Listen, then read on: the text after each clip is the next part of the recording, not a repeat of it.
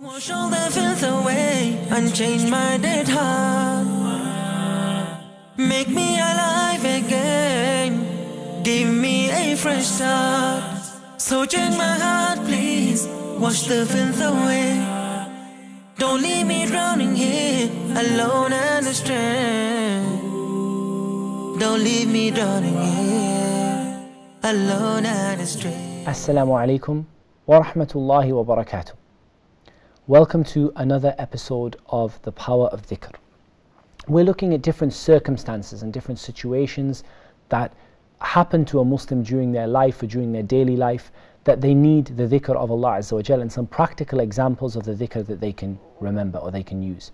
We said that the first uh, source uh, that we, we're recommending everyone at home to follow through and, and, to, and to be able to you know sort of get their du'as and their dhikr from is the book Fortress of the Muslim and also the website du'as.com D-U-A-S.com which has a lot of of the dhikr, the adhkar and the du'as on there. So we're sort of using those as a basis just to have a look at some of the examples of adhkar that a Muslim says during their life in times of difficulty and in times of trial. So that's what we're talking about today. It's about times when things don't go well. Times of difficulty, times of trial, times of sorrow, times of, you know, where a calamity strikes you, what kinds of adhkar, what kinds of things are we commanded to say at a time when things aren't going well for us.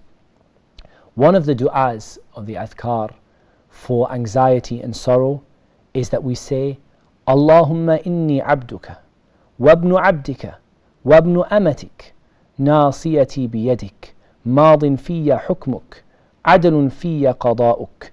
أسألك بكل اسم هو لك. سميت به نفسك أو أنزلته في كتابك أو علمته أحد من أحدا من خلقك أو استأثرت به في العلم الغيب عندك أن تجعل القرآن ربيع قلبي ونور صدري وجلاء حزني وذهاب همي.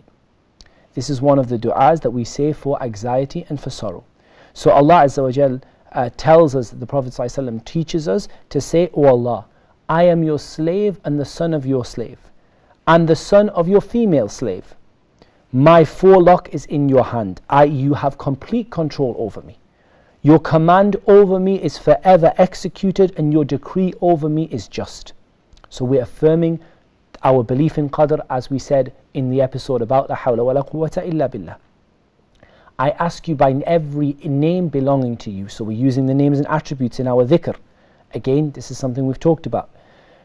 Which you named yourself with, or revealed in your book, or taught to any one of your creation, or preserved in the knowledge of the unseen with you, that you make the Quran the life of my heart and the light of my chest, and a departure for my sorrow and a release for my anxiety, and Allah Azza wa Jal will take away the anxiety and the sorrow of the heart of anyone who recites this supplication, as is mentioned in the hadith of the Prophet. Sallallahu Alaihi Wasallam. There are adhkar that you say when you're afraid of someone.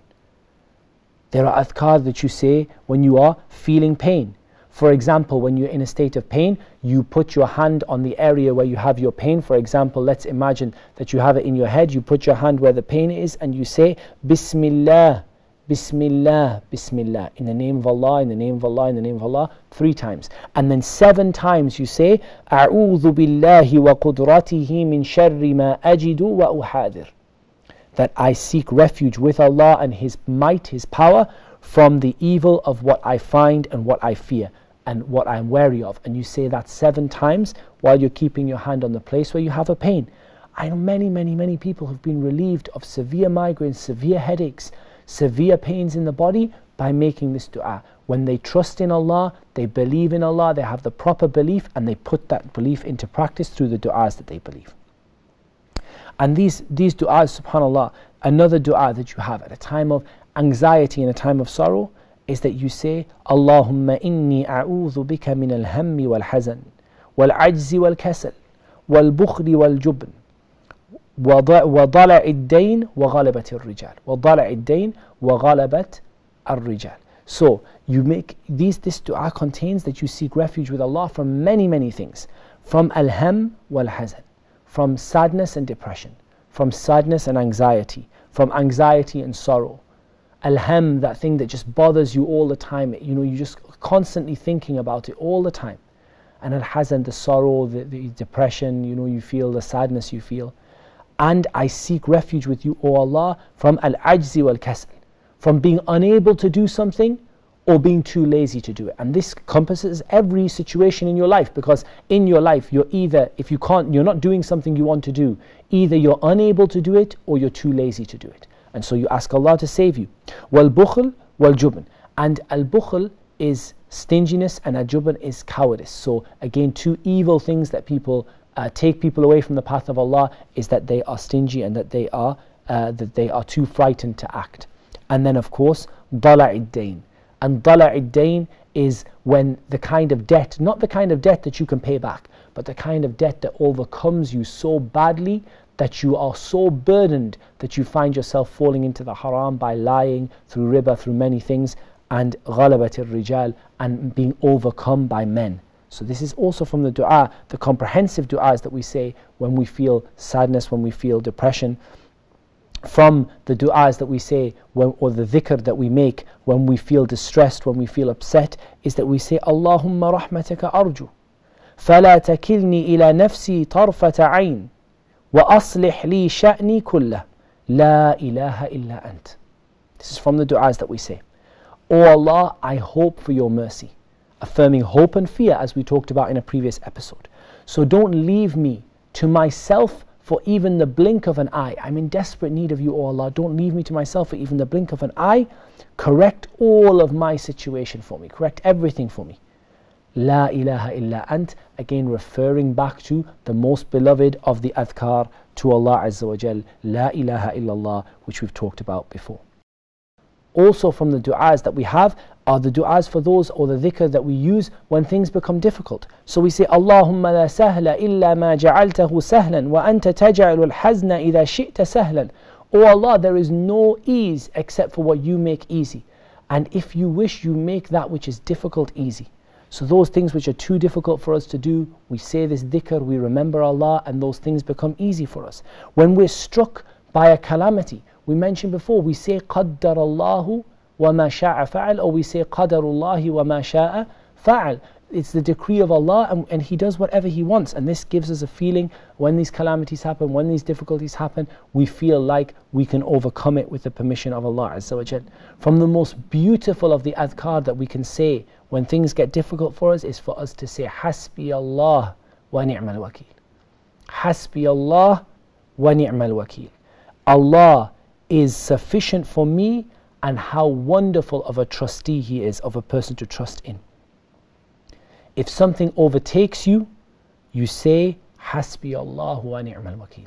A beautiful phrase that we say at a time when uh, we are struck by calamities, when we are in a time of difficulty, when we are fearing uh, that we are going to be overcome with something, that again we refer it back to Allah Azza wa. Just like saying, La hawla wa la quwwata illa billah.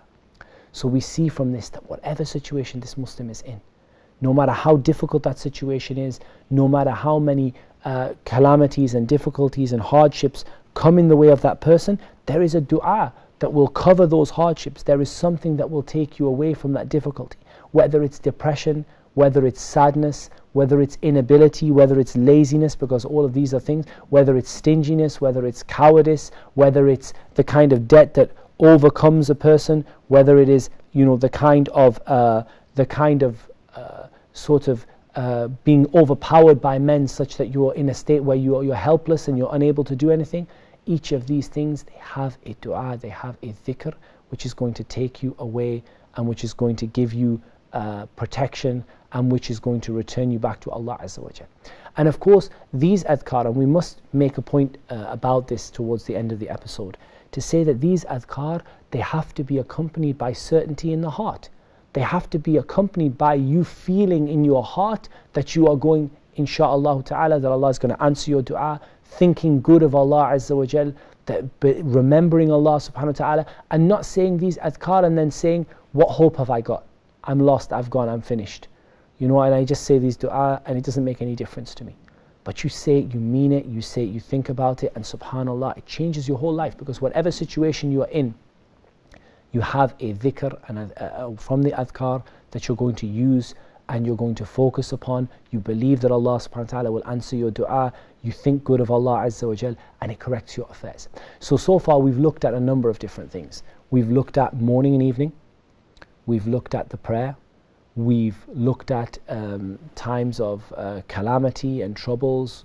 We've looked at many different situations. We've looked at so many different times. And even these were just scratching the surface in reality on the times when a Muslim remembers Allah subhanahu wa ta'ala. Because literally you remember Allah all the time. When you go out of the house, you remember Allah. When you come into the house, you remember Allah. In the bathroom, you remember Allah Azza wa Jal. When you walk in, when you walk out, you remember Allah subhanahu wa ta'ala. Uh, from waking, from sleeping, from every moment of your life, you're in a state of remembrance of Allah Azza wa Jal in the final episode uh, of this uh, series of episodes on the power of dhikr, we're going to look specifically at the issue of protection from the shaitan and the adhkar which has been given to us to protect us from the shaitan and the plots of the shaitan. And then we're going to conclude by recapping all of the things that we've covered in the series so far. So please do join us for the final episode of the power of dhikr, inshaAllah. Until then, I leave you in the care of Allah. Assalamu alaikum wa rahmatullahi wa barakatuh. Wash all the filth away and change my dead heart. Make me alive again. Give me a fresh start. So change my heart, please. Wash the filth away. Don't leave me drowning here, alone and astray. Don't leave me drowning here, alone and astray.